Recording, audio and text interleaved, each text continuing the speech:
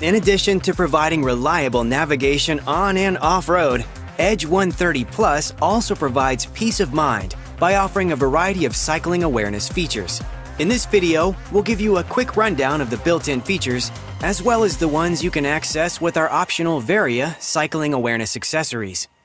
For example, when Edge 130 Plus is paired with your phone, open the Garmin Connect mobile app to start using Live Track while you ride. With LiveTrack, you can give family and friends peace of mind by inviting them to see your location and follow your rides in real time.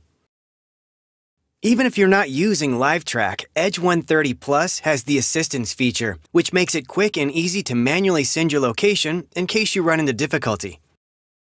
First, you need to assign your emergency contacts. You can do this when you initially pair the Edge with your phone, or do it later through the Garmin Connect mobile app and enter up to three emergency contacts.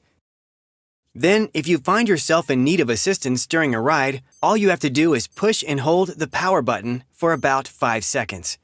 This will trigger a message to be sent, including a link to your location.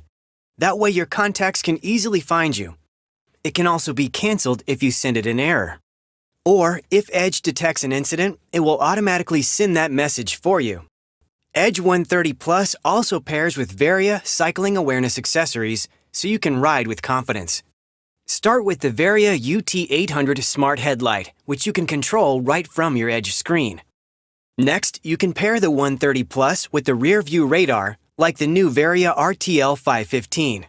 This radar warns you of vehicles approaching from behind and has a bright taillight that makes you more visible to motorists too. Varia Radar integrates seamlessly with your Edge 130 Plus, getting your attention with visual and audible alerts, so you can be aware of cars coming up behind you without even having to turn your head. That's all for now. To learn more about riding with Edge 130 Plus, make sure to watch the other videos in this series.